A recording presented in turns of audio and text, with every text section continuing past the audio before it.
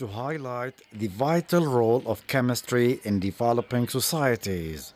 The Omani Chemical Club, under the supervision of the Ministry of Culture, Sports and Youth, held the first chemical exhibition under the theme Sigma.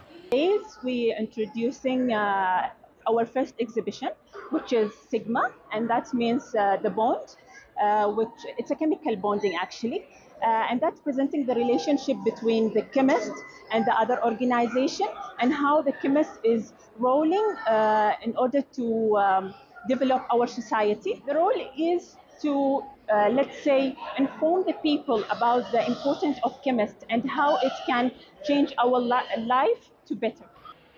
The exhibition showcased some innovative chemistry projects and provided an opportunity for the attendees to know the different specializations of a chemist. I'm really happy to participate in this exhibition for Omani Chemical Club.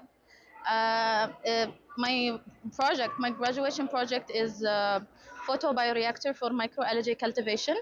So last year it won one of the best three graduation projects in the industrial domain. And uh, it is, my graduation is about uh, cultivating microalgae to produce green hydrogen, to produce biofuels and any bio-based uh, products.